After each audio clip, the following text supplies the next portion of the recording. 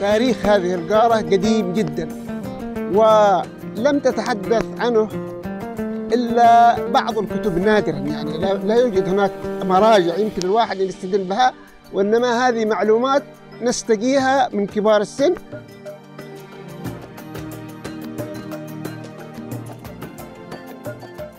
أين ذهب سكان آه، هذه الدولة الكبيرة؟ هناك روايات عديدة. في أن عدد منهم ذهب مع عائلاتهم ضمن الفتوحات الإسلامية.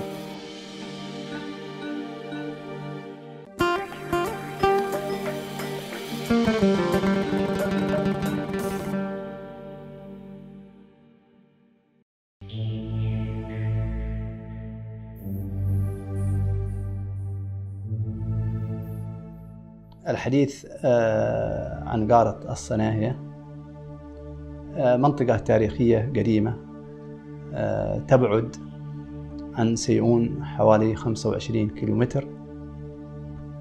وترجع هذه القارة إلى قبيلة الصنهاجة الحميرية في نسبتها. فيها الحاكم السنهاجي وقصره لا زال موجود هنا قصر الحكم والقلعة الخاصة به.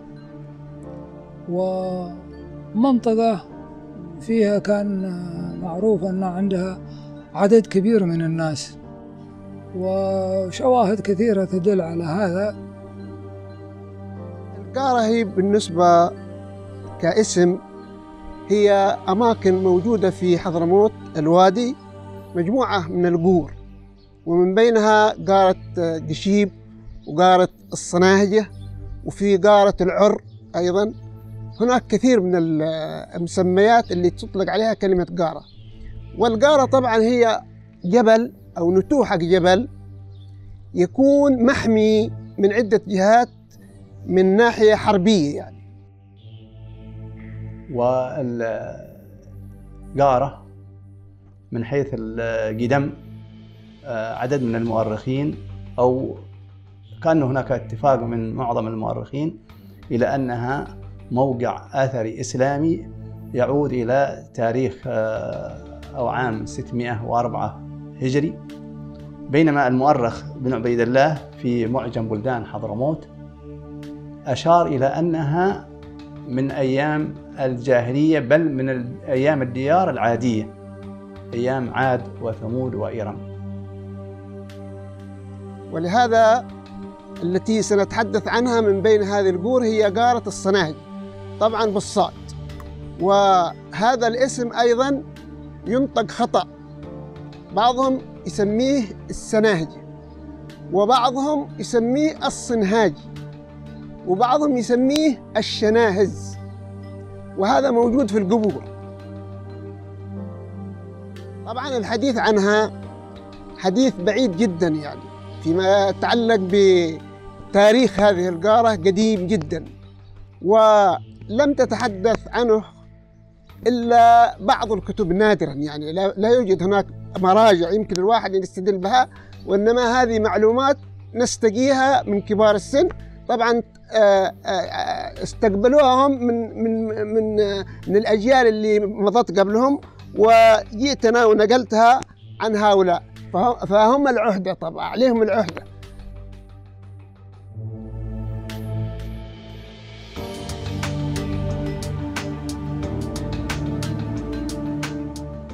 بالنسبة للموقع هي موقع معروف بالنسبة لها هي تضاهي المدن القديمة اللي مشهورة في الوادي حضرموت مثل مريم وشبام والهجرين. وبعض المدن اللي كانت مشهورة ودمون. وموقعها هو الآن تقريبا حال وسط بين مدينتي سيئون وتريم. بالنسبة لسيئون حوالي خمسة وعشرين وبالنسبة لتريم طبعا كيلومتر وبالنسبة لتريم حوالي 18 كيلومتر. القارة موقع حصين. فهي أولا تحيط بها الجبال كما لاحظنا أو نلاحظ من معظم الاتجاهات. وهي تطل على الناحية القادمين من ناحية الغرب من ناحية الشرق من ناحية الجنوب. من قدم من ناحية الجنوب فهم آه، يشاهدون ويترصدون هؤلاء القادمون من ناحية الغرب كذلك من ناحية الشرق. فهم في هذا الركن والموقع الذي يطل على الشرق والغرب والقادم من الجنوب. آه، فهم في هذا الموقع الحصين والمرتفع. وهذا وفر لهم هذه الحماية.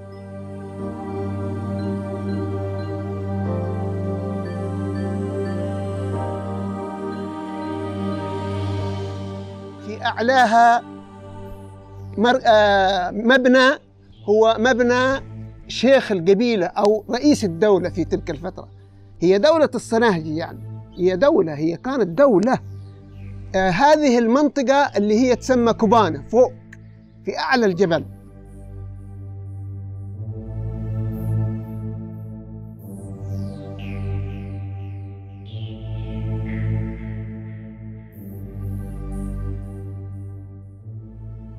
الحديث آه، يدور أحيانا عن أين ذهب سكان آه، هذه الدولة الكبيرة.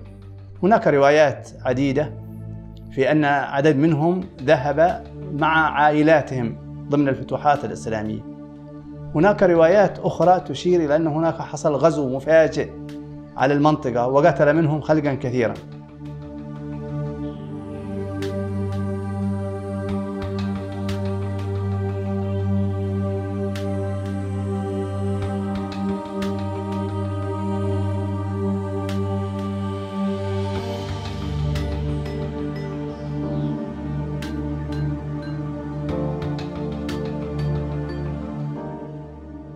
هذه القارة اليوم لا يوجد فيها واحد من الصناعجة كلهم غير موجودين.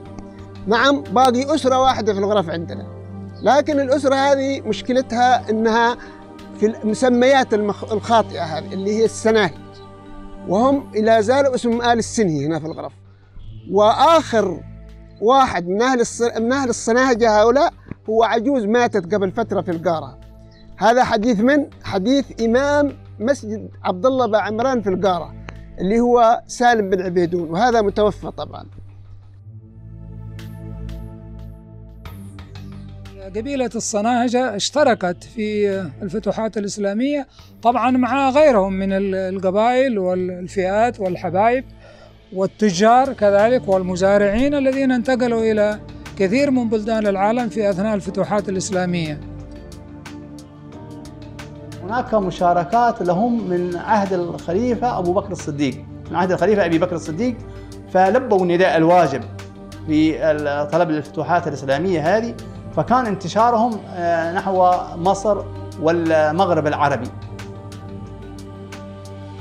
وتاريخهم ويعني تأثيرهم ملموس إلى اليوم في أكثر من منطقة. فكثير من الناس اللي يذهبون إلى المناطق التي ذهب لها الصناهجة وغيرهم من الحضارم إلى بلدان العالم يشاهدون وكأنه عاداتهم وتقاليدهم وحتى طبيعة غذائهم ولباسهم إلى درجة كبيرة كان يعني موجود وكأنه يعيش هنا في وادي حضرموت. آه، والصناهجة بالذات آه، لهم تأثير كبير آه، مثل ما هو نسمع عنه في دول المغرب العربي.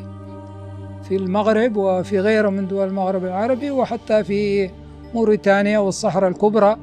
وهناك حارات كاملة ويعني ممكن نقول حارات سكنية كبيرة يقال أنها لهم هناك وموجودين هناك إلى وقتنا الراهن. هذه الأمور بالنسبة لنا نحن في المراجع آه، القديمة هذه هي حضرموت بشكل عام يعني. من القرن الأول إلى القرن الرابع تاريخها إلى الآن مفقود يعني. ولهذا تعتبر القارة من المفقودات من الأشياء المفقودة. فلا يوجد إلى اليوم لا تزال المشكلة هذه قائمة عن المراجع والمصادر التي هي تتحدث عن هذه الفترة من القرن الأول إلى القرن الرابع. فتاريخ حضرموت لا يزال فيه حلقة مفقودة وهي أهم الحلقات هذه اللي هي فترة له فترة الفتوحات الإسلامية وذا. لكن لو رجعت إلى التاريخ ستجد الأشعث بن قيس الكندي. هو من كندة من حضرموت كان آه، من الناس المرتدين. ولكنه طلب الخليفة أبو بكر الصديق طلب حضوره إلى آه، المدينة. فحضر إلى المدينة وتزوج من أخت أبو بكر الصديق. فهذا واحد من الوفود التي وفدت من حضرموت.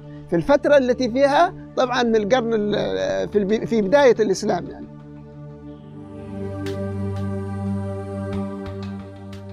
وكثير من سكان المغرب العربي آه، كما تشير الروايات والمقابلات مع بعض الأفراد يقولون أنهم آه، نسبهم من حضرموت من قبيلة صنهاجة آه، وهذه صنهاجة هي في تاربة فهي منطقة هؤلاء كما يؤكدون هم بأنفسهم أنهم من أهل حضرموت ومن قبيلة صنهاجة الحميرية القحطانية. هذه ال- ال- القرية الحالية الدولة السابقة والمدينة المستقبلية إن شاء الله آه، تنسب للسناهجة وبحكم أن ال- السلطان كانت دولة هنا وحاكمها السنهجي والصنهجي آه، حاكم هذه الدولة وكانت هذه الدولة أطلقت باسمه باسم الحاكم كان حاكم الدولة. ولهذا نسبت القارة إلى هذه له الع... الع... الأسرة ولا لا؟ وكانوا يمثلون دولة في المكان هذا. ولكن بعد طبعا هزيمتهم هزموا. فلما هزموا طبعا تبددوا وسافروا وأسسوا دولة في المغرب. وحتى عبد الرحمن بن خلدون هذا اللي هو عاش في مصر هو الصنهاجي موجود في الحضرمي الصنهاجي من نفس الأصل حق القارة هذا هو مؤسس علم الاجتماع. من خلال. الاسم هذا إنه عبد الرحمن ابن خلدون مثلا الحضرمي الصنهاجي. ولا توجد في حضرموت هذا المسمى إلا من القارة هذه. فهذا ينسب لهذه المدينة. هو لم يعش في هذه المدينة. هو لم يعش في هذه المدينة. وإنما عاش في مصر. وكان يعني كما تقول رجل علم وكان رجل قضاء وغيره. لكن نسبته إلى الصناهجه مثبوتة لا تزال فيه في هذه المقدمة حقه. وهي دليل قطعي على إن هذا الرجل هو من بين الصناهجه القصص كثيرة حول يعني أسباب يعني نزوحهم من هذا المنطقة. يقال أنه هناك الأعداء كثير في ظل الصراعات ال- بين الدول في القديم. معروف أنه الدول والدويلات والدول كانت فيها صراعات قديمة فيما بينها البين. وصراعات آه، تأخذ أحيانا طابع المسلح وأشكال أخرى. ويقال أنهم أيضا آه، وجد لهم أعداء كثير. وحتى أنه كثير من الناس يعني حاولوا يقيمون فيما بينهم وبين الأعداء صلح. ولكن يقال والله أعلم أنه في أحد اللقاءات هذه غدروا. على أنه الناس من بين الاتفاق أنه يأتون ب يعني بدون سلاح ولكن العدو الطرف الآخر جاء بسلاحه وأخفاه وباشر يعني القتل والاقتتال فيهم. عندما هزم الصناهجة من قبل آل بيت مسلمة يقال إنهم تقابلوا مع الصناهجة في منطقة عبيدونة وقد قام آل بيت مسلمة بعملية خداع. عملية خداع يعني. حيث طلبوا هدنة مع أهل القارة مع الصناهجة. فجاء الصناهجة إلى عبيدون هنا وهم عزل من السلاح على خيولهم. وجاء قبلهم أهل بيت مسلمة ودسوا سي- سيوفهم في في الرمال هذه الأماكن. فلما وصلت القوة من آه، القارة قام أهل بيت مسلمة ويعني آه، يعني كما تقول فاجئوهم بالأسلحة وقتلوا الذين جاءوا على هذه الف- الفرسان. فعادت الفرسان إلى القارة.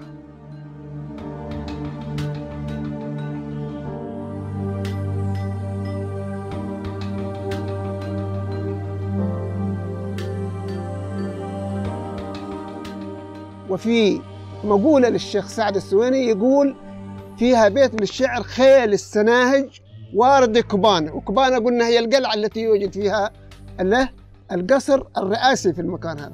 هي شاردة هي واردة ضمانة فهو يتساءل عن عودتها بدون بدون فرسان. لكن تبين فيما بعد أن الغدر حصل من قبله بيت مسلمة. وهذه هي الهزيمة التي مني بها الصناهجة وتفرقوا بعد هذا وأصبحت الدولة حقهم دولة كما تقول سقطت وانتهت.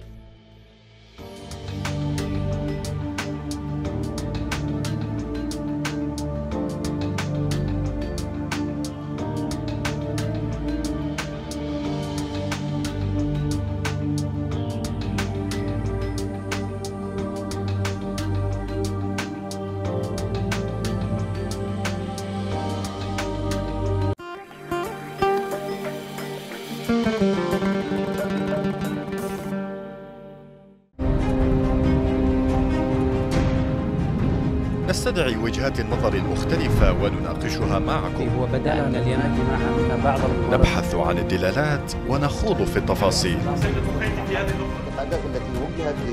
فضاؤنا بلا سقف ومساحتنا بلا حدود. فضاء حر على شاشة بلقيس.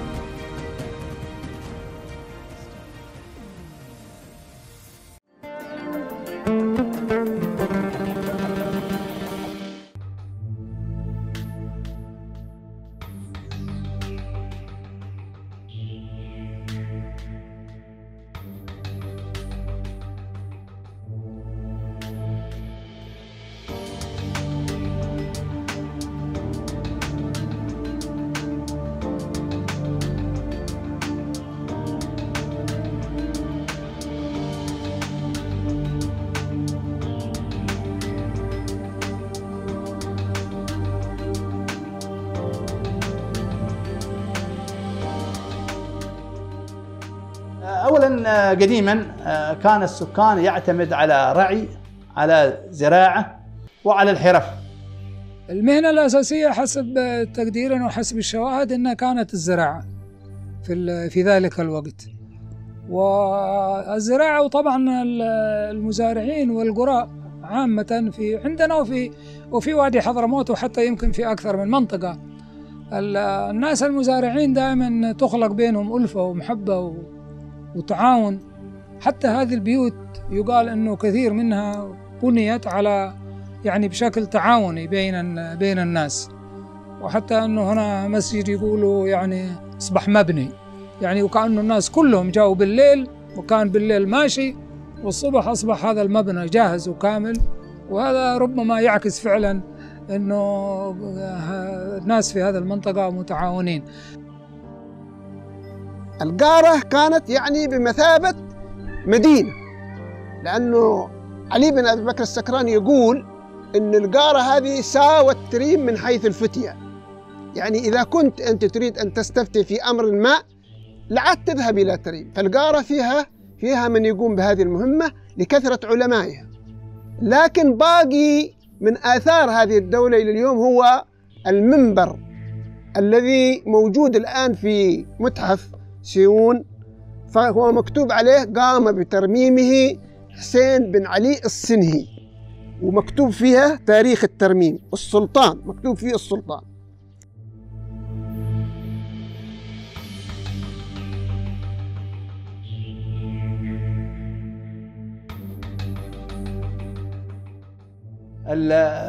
الشواهد التاريخية كما قلنا التي تدل على قدمها مساجدها.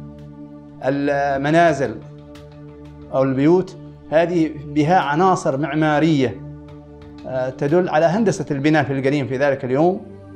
المساجد هناك أكثر من ستة مساجد آثارها باقية إلى اليوم. والله تعداد البيوت وعدد المساجد يدل على أن هذه المنطقة بها مساجد كثيرة. رغم أنه في تلك الفترة كان الناس يعني يستصعب عليهم أن يبنوا فهم بنوا فوق الجبال وحفروا الآبار وسط الجبال وبنوا عدة مساجد. ولا تزال هذه الشواهد قائمة إلى اليوم تدل على أن هذا المكان يعني أهل بالسكان. فقال لي إمام مسجد باعمران اللي هو سالم بن عبيدون قال إنه يقال إنه في هذه المدينة أو في هذه المنطقة التي تسمى القارة كان فيها سوق يسمى سوق القفان. وموجود المكان اللي هو فيه السوق وشاهدته بعيني. قال إنه دخلت دخلت إلى مدينة القارة أنا بسميها مدينة. طبعا قطار من من الحنيد اللي هو هذا اللي يستخدم في الأكل. فقال إنه عندما دخلت هذه هذا القطار ابتاع كله ما بين الخطبة وصلاة الجمعة. فحوالي يعني عدد من الجمال. معنى انه هذه المدينة ليست صغيرة. فهذا كل الحنيد بتاع ما بين الخطبة والصلاة. بس هذه ليست معناها بسيطة العدد القارة والشاهد على ذلك هي المساجد يعني والقبور و... آه، إلى جانب هذا وقصر الحاكم الصنهاجي والمساجد هناك الآبار العميقة الموجودة في القارة. هذه الآبار آه، منها بئر عميقة وعميقة جدا في أعلى المرتفع. وكيف حفرت هذا البئر؟ كيف حفرت آبار بجانب كل مسجد بئر؟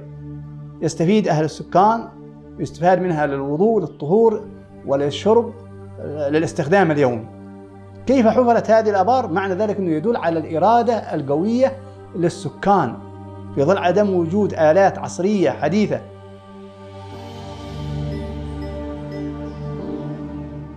وإنما الشاهد في الأمر أنه زمان آه، قافلة تجي من آه، عشرات الجمال. فعادة عشرات الجمال تنزل في أي مدينة تجلس أيام على ما يسوقوا يعني بضاعتهم. لكن في هذه المنطقة يعني يقولون التالي ما عاد يحصل شيء. تجي مجموعة قوافل بأي بضاعة بأي سلعة والتالي ما يحصل شيء. وكان يضربون الناس هنا مثل بالملح. قد الملح حاجة الناس لها قليلة جدا وما يستخدمونها كثير مقارنة بال بال بالمواد الغذائية الأخرى. وحتى الملح لما تصل قافلة كبيرة يقولون إنه التالي ما عاد يحصل شيء. يعني من تأخر يكون قد نفذت الكمية الموجودة الهائلة الكبيرة قد قد نفذت نفذت وهذا يعطي إشارة كبيرة لأنه عدد السكان كان يعني حتى صعب تخيله يعني.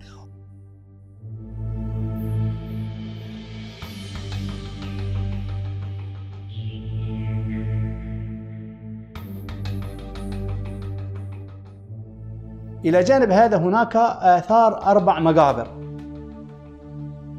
المقبرة القديمة التي نرجح أنها من العصر الإسلامي لعدم وجود شواهد فيها وقبورها هكذا فيها امتداد من الطول مقبرة باشمس.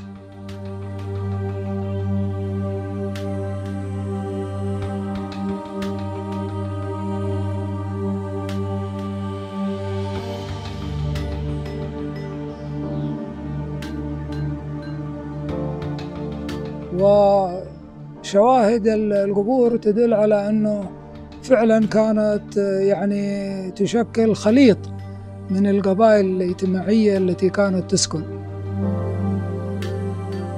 هذه المدينة يعني يجب أنا أن يتم حماية بنيانها والحرص على على المآثر الموجودة فيها لأنه الإنسان الآن أنا كلمت الإمام حق القارة قلت له من الذي قام بتكسير هذه الجدران والبيوت والذا قال المواطنين اللي هم ساكنين هنا أصبحوا يستعينون بالحجر حق البيوت هذه يستعينون بالأعواد حق البيوت هذه فهدموا كثير من من المباني. وأهم فيها المباني هي الجوامع والقلعة.